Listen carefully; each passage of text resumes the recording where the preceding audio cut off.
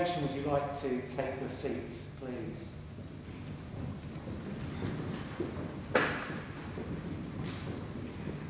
We have been waiting and longing for this day. It's been a great joy uh, for us here in Bottesford to uh, organise a marriage such as this. At the beginning of the year, this country was, was absolutely enraptured by the possibility of an Englishman marrying an American girl.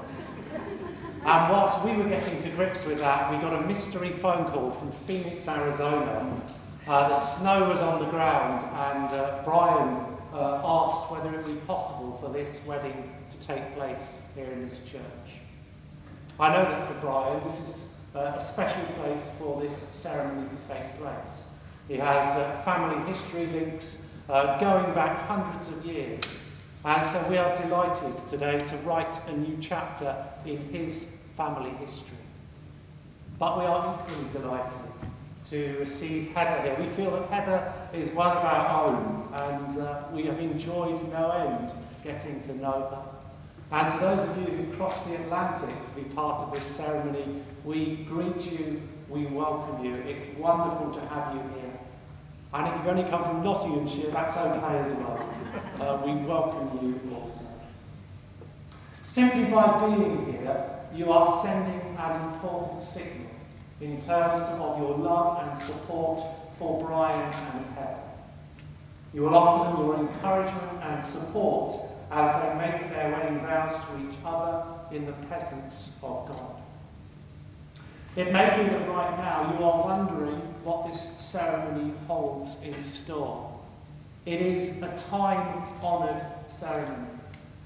Worship in this place has been going on for 800, 900 or more years. Many weddings have taken place here. It's a time-honoured thing to do. And Brian and Heather have chosen traditional words to express their promises and their love for each other. It is also a sacred and a special occasion. God is here with us. It is a joyful celebration, which means you can laugh, you can smile, particularly if I crack any jokes, please do. But now is the time to set aside any worries or concerns you may have had about the preparations for today. It is time to enter into and enjoy this service. It's also time to switch off mobile phones, any other portable devices of any kind, so that you can concentrate on playing your part in this ceremony. And so with Brian and Heather here, let us bow our heads and we pray for them on this their wedding day. O God, our Father, who by thy Son, Jesus Christ, has taught us that love is the fulfilling of the law. Grant to Brian and Heather that loving one another, they may continue in thy love until their lives end. Through Jesus Christ, your Son, our Lord, who is alive and reigns with thee in the unity of the Holy Spirit, one God, world without end. Amen. And now we're going to join in singing the first of our two hymns. It's number 329 in the blue hymn book, which I hope you have been given. The hymn is Lord of the Dance. Our custom is to stand and sing our hymns. If you'd like to do that with us, that would be excellent. Number 329, Lord of the Dance.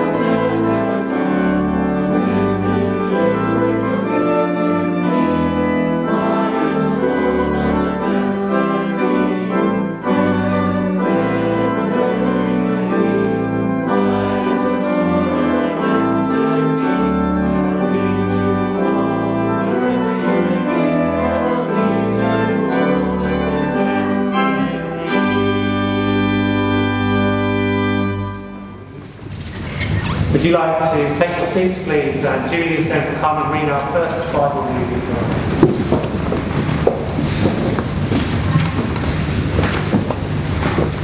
First Corinthians chapter 13. Love is indispensable, and yet I will show you the most excellent way.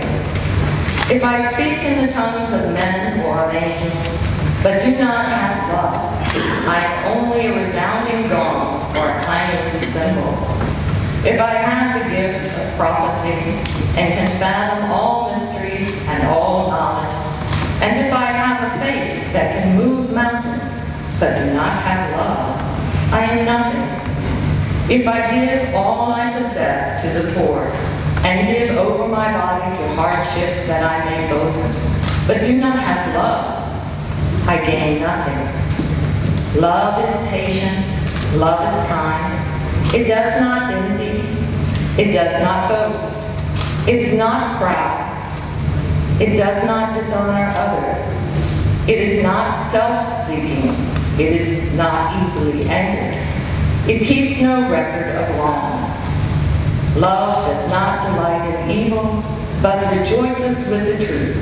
It always protects, always trusts, always hopes, always perseveres. Love never fails. But where there are prophecies, they will cease.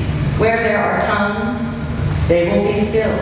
Where there is knowledge, it will pass away. For we know in part and we prophesy in part. But when completeness comes, what is in part disappears. When I was a child, I spoke as a child. I thought like a child. I reasoned like a child. When I became a man, I put the ways of childhood behind me. For now I see only a reflection, as in a mirror. Then we shall see face to face. Now I know in part, then I shall know fully, even as I am fully known. And now these three remain, faith, hope, and love. But the greatest of these is love.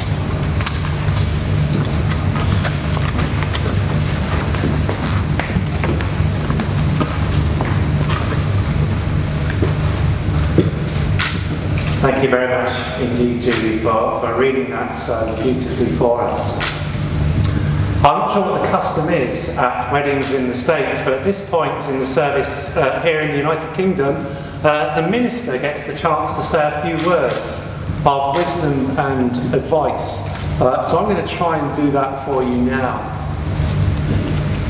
I wonder if you ever wonder what it's like to be somebody else. Something that I used to do a lot when I was when I was a child. Um, I used to sort of look at other people and pretend how wonderful it would be to be there. And a few years ago, when I was not a child, I went to the Foundling Museum, which is a museum in London.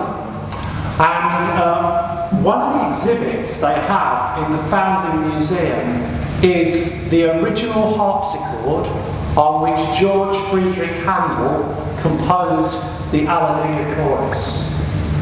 George Friedrich Handel is one of the greatest English composers uh, there is, except he's German, but don't worry about that. and the, this, the, uh, the exhibition hall was empty. And I did what I hope you would have done, because British people are very intimidated by those red robes.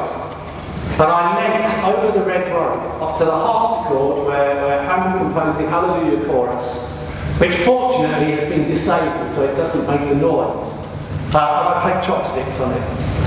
I don't think my version of chopsticks is any better or worse than yours, but it just made me think, goodness, there I am, with my fingers on the keyboard, that George Friedrich Handel would have done when he composed the Alleluia chorus. And it made me think about what would it have been like to have been him. You know, the closest we come to experiencing and understanding what it is like to be God is when we give and receive love in the way that God does. That means loving without limits. It means loving without conditions. It's not, I'll love you if you do this, dot, dot, dot. It's not, I'll love you Monday through to Thursday, but Friday night I'm out with the lads. It means loving at times when we may not really feel inclined to do so. It means loving in ways that are patient and kind, in ways that persevere, that keep no record of wrongs and past hurts. That is the ideal that Julie has just set before Brian and Heather. And can any of us really live up to that kind of calling? A friend of mine once told me that the way to read that reading from 1 Corinthians 13 is every time you get to the word love to insert your name and to see how natural and right it sounds. I have some good days when about half of it sounds reasonably possible. But there are other days when I read through and I think David is kind, David is patient. I don't think so. But I don't live up to that aspiration. The description may fit when perhaps you're at the top of your form, or perhaps when you're in the early stages of romantic affection, when it's probably easier to be blind to the faults and failings of somebody else. But here's the thing love is a gift from God. He is the one who came up with the whole idea. And when we live in tune with God, it becomes a lot easier to love as He does. And the way He helps us to love without limits, without conditions, and without end happens in two ways. It happens first of all when we follow the example He has given us in Jesus. Happens when we allow Him to give us as a gift the ability to learn to love in ways that are far beyond us. That is the greatest wedding gift that anyone can receive. And so my deepest wish for Brian and Heather, uh, of whom I have become greatly fond over a very long distance, is that they will grow in a love that is patient, honest, and determined. Love that is nurtured and, and encouraged by the example of others around you, by the support that you give them in their married life, that they may discover and cherish and grow a love that is abiding and lasts until their lives end. A love that gives them and others a glimpse of the love of God and allows them to know the good things that he wills for them this day. Amen. And so, dearly beloved, we are gathered here in the sight of God and in the face of this congregation to join together this man and this woman in holy matrimony, which is an honourable estate instituted of God Himself signifying unto us the mystical union that is betwixt Christ and his church, which holy estate Christ adorned and beautified with his presence, and first miracle that he wrought in Cana of Galilee, and is commended in Holy Writ to be honourable among all men, and therefore is not by any to be enterprised nor taken in hand, unadvisedly, lightly, or wantonly but reverently, discreetly, soberly, and in the fear of God, duly considering the causes for which matrimony was ordained. First, it was ordained for the increase of mankind according to the will of God, and that children might be brought up in the fear and nurture of the Lord and to the praise of his holy name. Secondly, it was ordained in order that the natural instincts and affections implanted by God should be hallowed and directed aright, that those who are called of God to this holy estate should continue therein in pureness of living, of the other, both in prosperity and adversity. Into which holy estate these two persons present come now to be joined. Therefore, if any man can show any just cause why they may not lawfully be joined together, let him now speak or else hereafter hold his peace.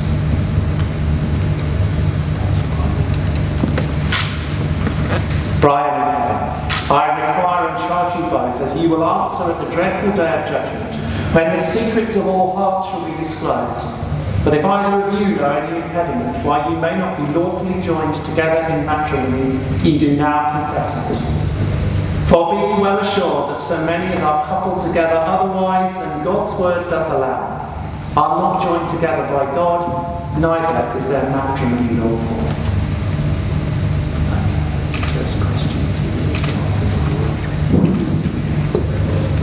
Brian, wilt thou have this woman to thy wedding wife, to live together according to God's law in the holy estate of matrimony?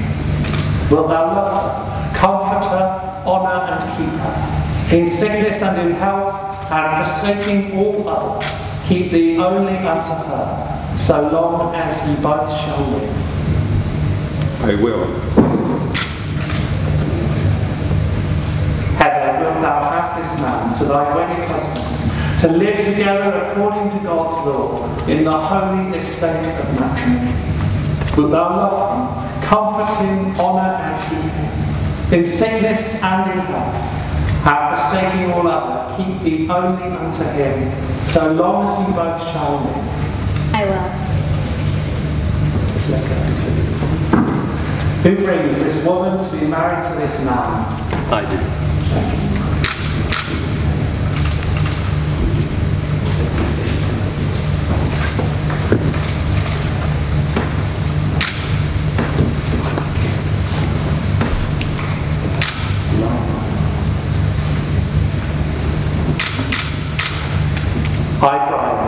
Brian, thee, Heather, I, Brian, take thee, Heather, to my wedded wife, to my wedded wife, to have and to hold, to have and to hold, from this day forward, from this day forward, for better, for worse, for better, for worse, for richer, for poorer, for richer, for poorer, in sickness and in health, in sickness and in health, to love and to cherish, to love and to cherish, till death us do part, till death us do part, according to God's holy law. according to God's holy law. And thereto I give thee my troth, And thereto I give thee my troth.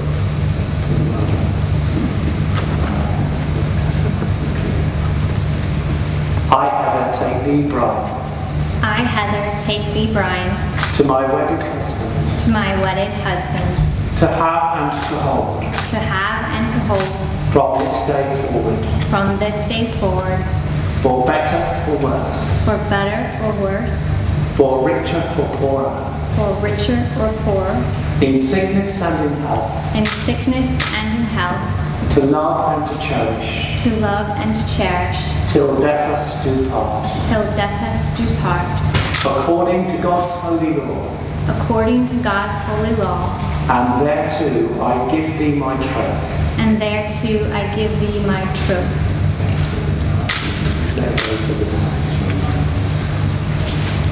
Matthew has been waiting here patiently as guardian of the rings. Uh, he was chosen for the job because he's responsible and uh, he's remembered to bring them along. Brian and Heather were both chosen to wear a wedding ring. And the wedding ring is an eternal symbol. It has no beginning and no end. It represents, if you like, the love of God. And the other thing about it, which any reputable nurse will tell you, is that there is a, a vein or artery that runs from the ring finger right through to the heart.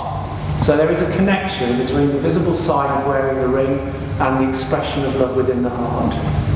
I've given you the big build up, Matthew, so you better have the rings, mate. Would you like to put them on the book?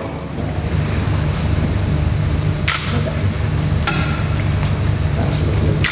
Out of the box for you. Would you like to look after that?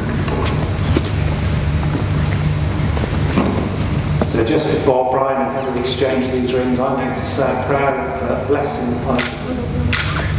Heavenly Father, thy blessing, let these rings be to Brian and Heather the symbol of unending love and faithfulness, to remind them of the vow and covenant which they have made this day, through Jesus Christ our Lord. Amen. Slip it ring, and hold it there. And say these words after me. Heather, with this ring I thee wed. Heather, with this ring I thee wed. With my body I thee honour. With my body I thee honour. And all my worldly goods with thee I share. And all my worldly goods with thee I share. In the name of the Father, In the name of the Father, and of the Son, and of the Son, and of the Holy Spirit. and of the Holy Spirit. Amen. Amen.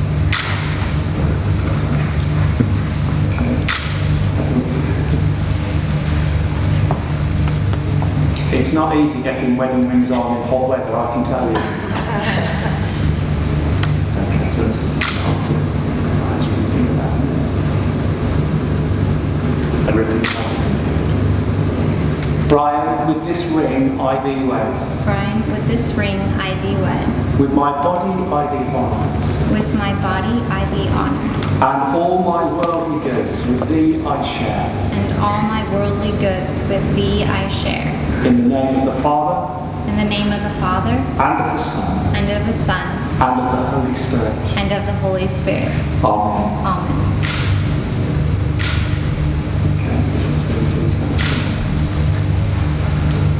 O eternal God, creator and preserver of all mankind, giver of all spiritual grace, the author of everlasting life, send thy blessing upon these thy servants, this man and this woman, whom we bless in thy name, that living faithfully together they may surely perform and keep the vow and covenant betwixt them made, whereof these rings given and received are a token and pledge and they may ever remain in perfect love and peace together and live according to thy laws.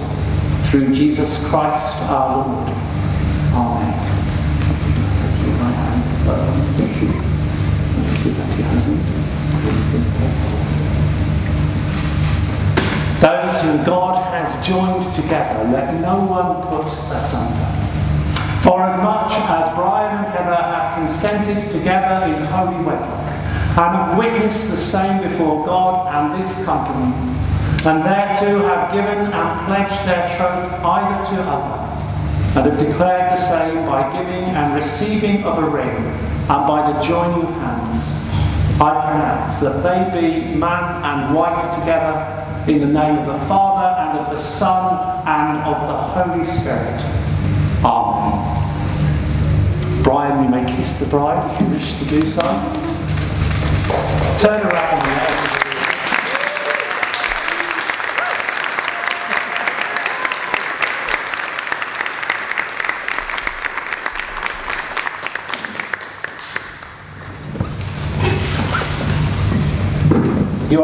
are congregation. Spoils it if you say we're now going to give them a spontaneous round of applause and you were right on the button. Thank you for that. This next part of the ceremony is my favourite bit because when a couple come to be, uh, to be married in church, as Brian and Heather have, the first person who can get to offer them anything at that moment of marriage is the minister.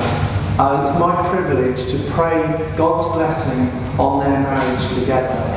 So I'm going to invite them to kneel if they can whilst we do that, you know, with little help from some of the bridesmaids.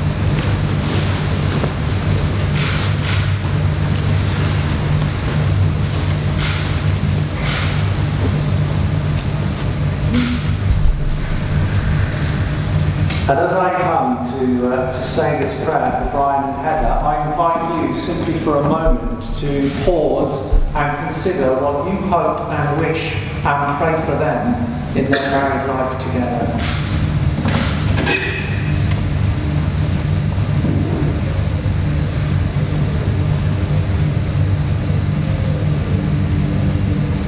Brian and Heather. May God Son, and God the Holy Spirit bless, preserve, and keep you. The Lord mercifully with his favour look upon you, and so fill you with all spiritual benediction and grace, that ye may so live together in this life, that in the world to come ye may have life everlasting. Amen. You like to carefully get up and lend assistance to your new wife? To come and take a seat?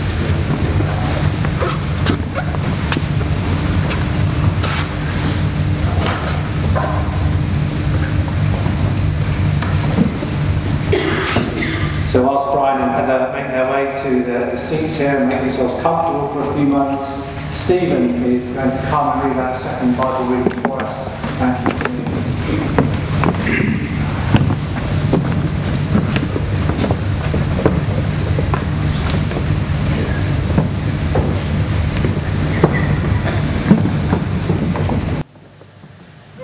I'm reading from Philippians chapter 4. Rejoice in the Lord always. I will say it again, rejoice. Let your gentleness be evident to all. The Lord is near. Do not be anxious about anything, but in every situation, by prayer and petition, with thanksgiving, present your requests to God, and the peace of God, which transcends all understanding, will guard your hearts and your minds in Christ Jesus. Finally, brothers and sisters, whatever is true, whatever is noble, whatever is right, whatever is pure, whatever is lovely, whatever is admirable, if anything is excellent or praiseworthy, think about such things. Whatever you have learned or received or heard from me or seen in me, put into practice, and the God of peace will be with you.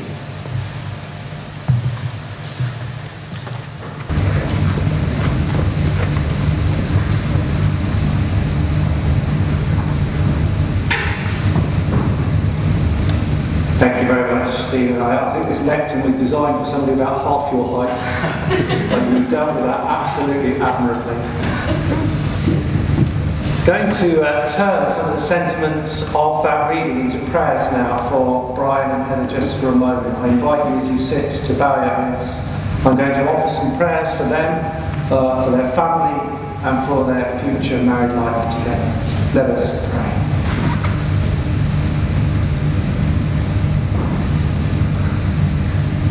Almighty and ever-living God, whose greatest gift is love. Look mercifully upon Brian and Heather as they venture into married life together. Assist them with your grace, that in faithfulness and lasting trust they may honour and keep the promises they have made this day. For we pray it in Jesus' name. Amen.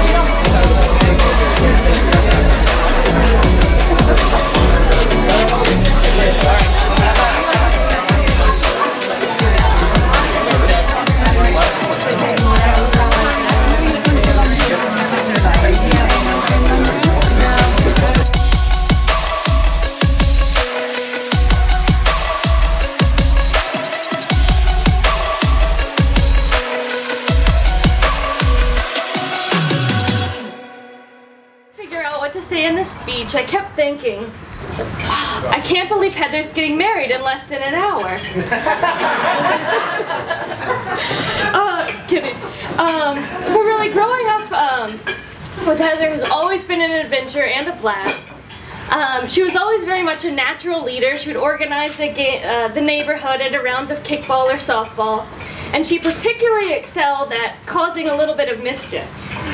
Um, and one of Heather's favorite types of mischief was convincing me to do things that I really, really shouldn't do. Um, and one of my favorite examples of this comes from when we were visiting my grandfather. So he lives out, um, and his backyard is a fishing pier connected to kind of a muddy marsh. And one day I just brought brand new white shoes with little jewels on them. And Heather convinced me that I should just run and jump off of that pier into the marsh. And so I did. The, the mud probably went up above the thighs. My shoes got sucked into the mud and off of my feet. We tried to dig them out. I don't know if we succeeded. Maybe mom remembers. Uh, and needless to say, I got into a little bit of trouble. So then, I've always wondered, you know, if Heather could find someone that could maybe stand up to her strong spirit and not be convinced to jump into a marsh unnecessarily. So I was really excited when one day I got a call from Heather, and she's like, hey, I'm dating this new guy. I really, really like him. And I learned that a big part of his job was negotiation. um, and so eventually I was lucky enough to get to meet Brian. One of the first times I met him, he cooked me chicken tikka masala. And that's when I knew he was definitely the one. but um, more seriously, I think what Heather and Brian really share is that they're both probably some of the most generous people that I know and just really love and care for other people. And so just to give a few examples, I'm really into Harry Potter. And so anytime either one of them walks by something with Harry Potter on it, I get a call immediately asking if I need it. when I turned the legal drinking age, Heather flew out to see me and paid for all of my drinks for the entire night. And uh, she has a few stories about that. Uh, and later, when I was buying my first car, Brian was on the phone with me the whole time, helping me negotiate with the salesman to get the best price. It's true. and so I really am just so happy that I feel like they were able to find someone who can match each other in both their generosity and also in ways uh, of negotiation. uh, and so, Brian, I really just want to welcome you to the family. We all love you very, very much and are so happy to make you an official part of the family. Um, and I just want to end with a few tips that I got for you that guarantee a long and happy marriage. So I got these off of Google, so I know that they're going to be good. All right, tip number one. When you're wrong, admit it, and when you're right, shut up. All right? Number two is that the best way to remember your anniversary is to forget it once. Uh, and number three, a happy wife is a happy life.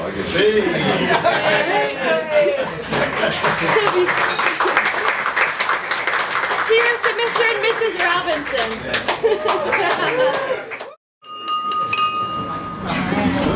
All right.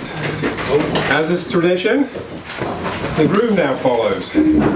I'll also say that this traditionally is the low point in the speeches, so I have no expectations that you'll enjoy it. Actually, I am quite excited to be able to get up and speak in front of you today, because I know for the next 40 years I'm going to have to sit down. Brian, we gotta get you down. You need me louder? My calls. Do you want to do it at the same? Yeah, yeah. what Tina did. So, first thing, let's do a toast. I want to thank everybody for coming here today. Some of you have come a very great distance. Brian, don't lean back or you're going to catch fire. I thought it was hard.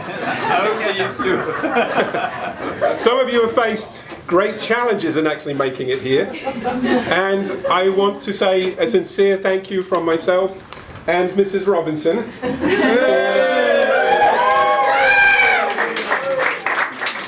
for the hard work and endeavour. We appreciate it very much. If you hadn't have been here, it wouldn't have been the same. It would have been considerably cheaper. You could have negotiated us not coming. So I'm going to steal the first toast. Ladies and gentlemen, I'll ask you to be upstanding. I'd like you to toast Mrs. Robinson.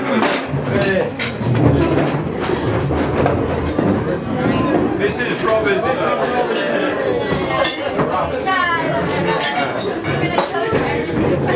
Thank you. The speech continues. Please be seated.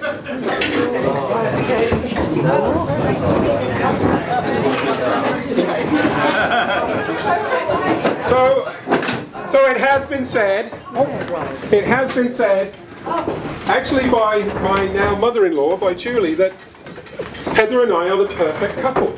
Oh. I think what she was trying to say when she said this was that we maybe we're a little moved. Mm. maybe we can be a little difficult. I would go so far as to say that some mornings I do wake up grumpy. Oh. Other mornings Does he wait minded? I let her sleep. I want to take a moment to thank the Woodards and the Lees for welcoming me to your family. I think by now you've realised that you did get the short end of the stick, but uh, we'll. And to Julie and Mike, a sincere thank you. You've given me the greatest gift of all. You've given me the gift of your daughter. I want to cherish this gift, and I tell you I'll enjoy unwrapping it later this evening.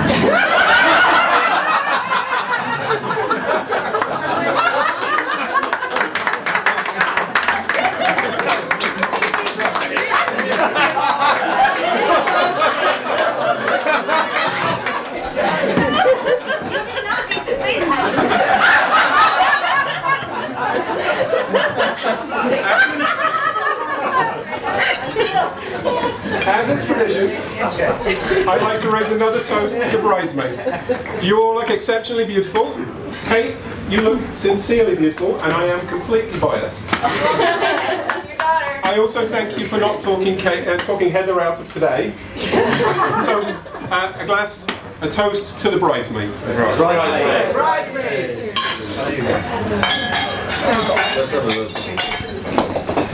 Cheers. I'd also like to say thank you to my best man, Matthew. You have stood by me all day, you've stood by me through thick and thin. And it is very difficult for Dad to realise that there is now a younger, better and more handsome version of himself. Not for the rest of us, bro. So let me finish by telling you a little about Heather. She's been dreading this, by the way. There's, there's been a hundred times she's asked me to say, what are you going to say about me? But I want to finish by saying a little of Heather. She's the most honest and faithful person I've ever met. She cries when she's happy. She forgives me in an instant. She truly cares for people, especially the old. Me again. Thank you. She's a fantastic nurse and she does an incredibly difficult job. I find her devilishly beautiful and she has only one fault. She doesn't know how special she is. So my promise to you from this day forward, I'll do my best to tell you every day how special you are. Thank you everyone.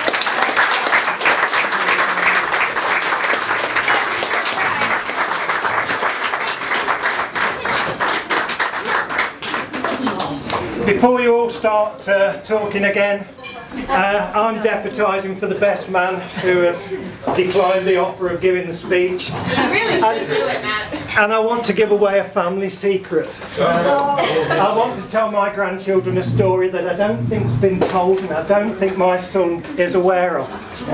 To do it, I need to go back to the day before he was born. Oh. We'd had a discussion over the nine months would it be a boy or would it be a girl? And we decided we wanted A go. a girl. We even had a name for our daughter. It was Sharon. Sharon. Hi, Sharon. well, the big day arrived, and I remember being at my in-laws and running about like a chicken with its head chopped off for about five minutes when Mary said, it's time. So we toured to the maternity hospital in our Mark II Cortina. I remember it doing 75, which I think was pretty impossible for a Mark II Cortina. Road. Well, I decided to take root somewhere and wait for our baby to be born. I was looking forward to meeting her. But a matron said, go home. So I had to go home and wait till the next morning. I rang up first thing in the morning and I was told we had A girl. Boy. a girl.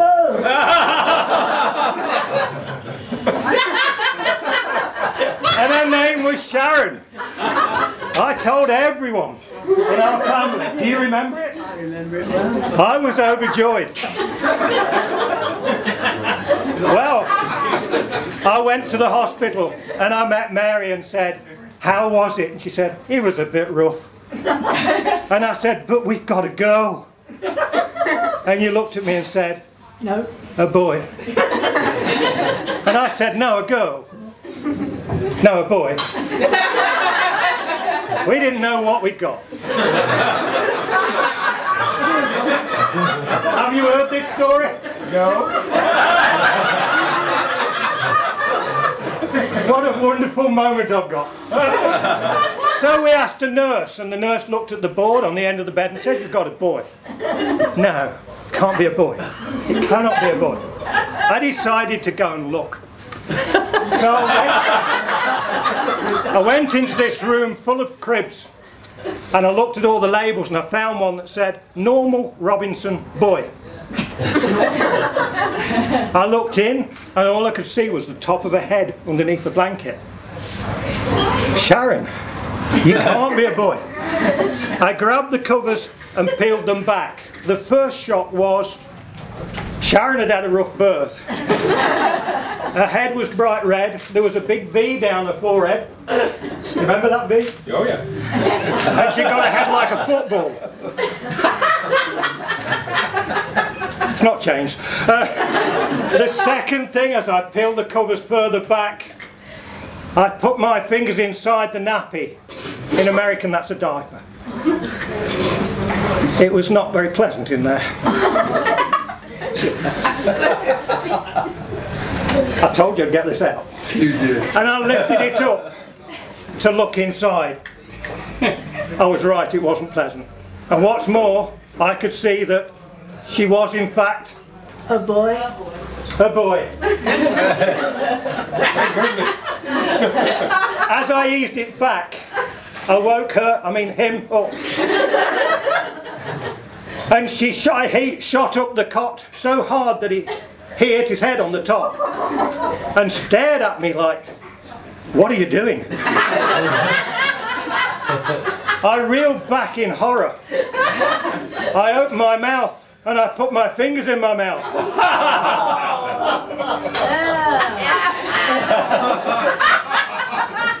Whereupon all the lights started to go dim. My arms and legs went like jelly. And I thought I was going for a sleep. But I went back to you and I said, He's a boy. we better rethink this.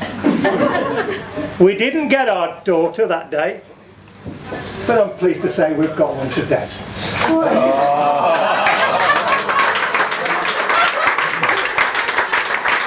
Message for you both from David, Sarah, and uh, the children. I can't think of Joseph and Isabel. I'm getting old. Um, who wish you all the best and say they're sorry they can't be today, to be with you today. So, just one last toast to Sharon. I knew that was coming. I knew that was coming. I'll go with it. It's Sharon and Heather. It's Sharon and Heather. Sharon and Heather. Now we know what they're talking about. I really know the code.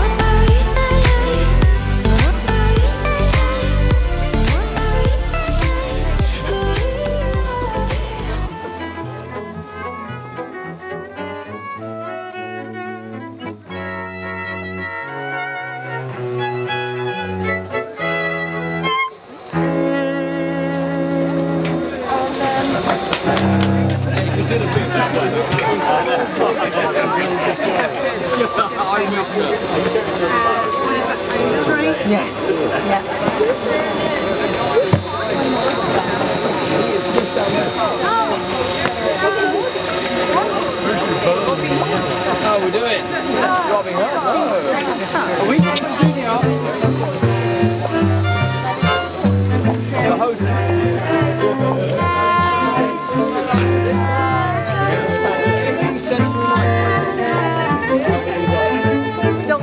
Oh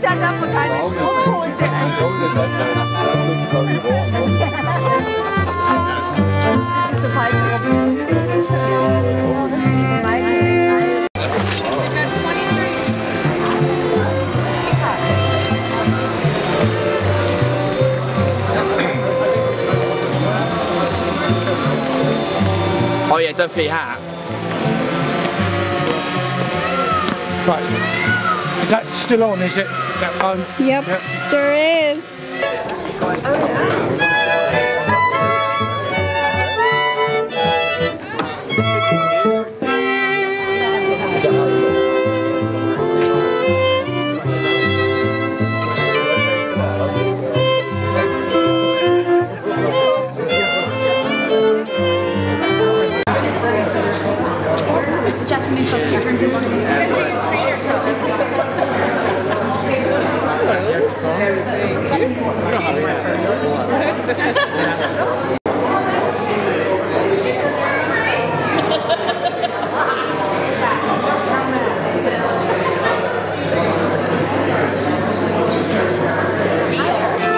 well, uh, the the castle was uh, when it was owned by um, the Earls of Warwick. Uh, Daisy, the Countess of Warwick, has had a menagerie. Menagerie is basically like a small zoo on the island.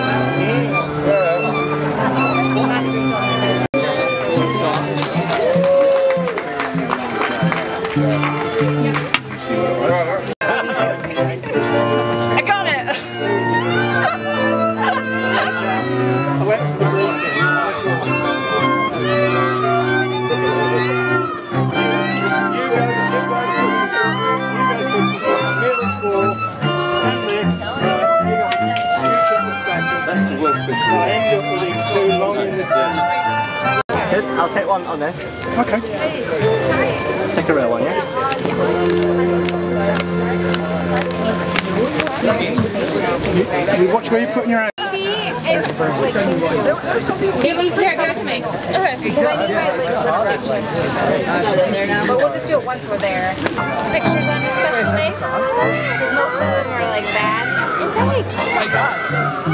god.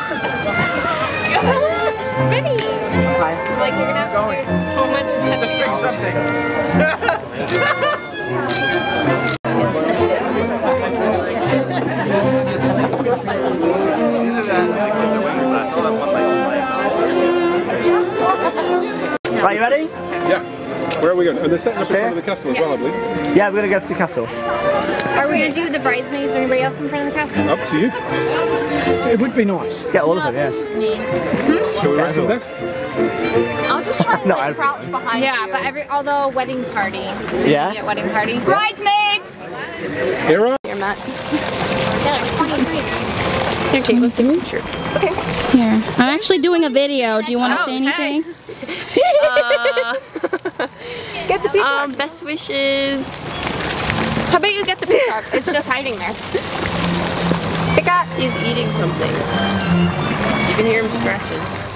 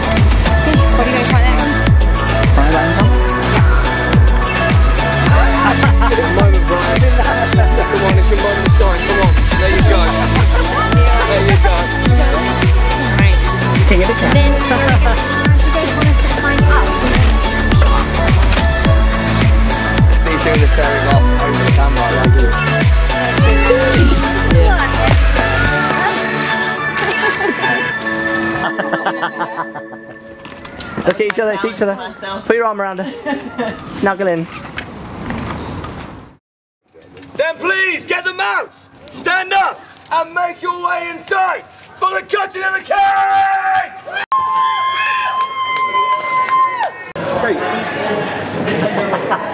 Pre-warned, if you get in the way of the photographers, they will knock you out of the way. Trust me, it's happened. To me, that is.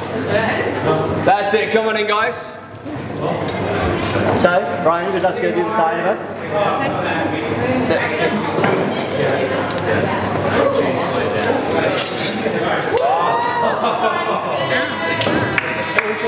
Oh, I to do it together? Do it together. What do you want to cut? Yeah, I think Where do we cut? Cut the bottom one. I know, hang on, go that way. Don't go behind the pole. Go that way. Don't, don't hide.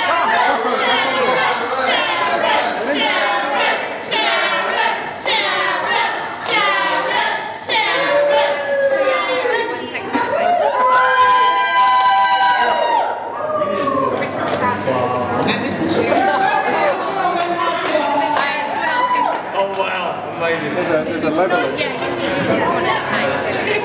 They're, they have like level things underneath them to keep Okay. them going, so you actually just have to do Sounds good. Oh, um, he's actually got a slice. plates, Oh. yeah. Can we have plates, please?